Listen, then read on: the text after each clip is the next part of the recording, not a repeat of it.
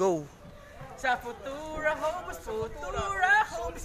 Dito solid ang future mo. Kaya po ito, papapakita namin sa iyo paano ginagawa ang solid na bahay tupa ng Futura Homes ng Pilinvest. Dito po ang kasama Osin Homes, Black 6 po ito ng Osin Homes dito sa Claremont, Pampanga. At ito po ginagawa ang bahay. Ang ating mga taong hanggang. Ganyan po siya kakibay. Binuhusan po siya.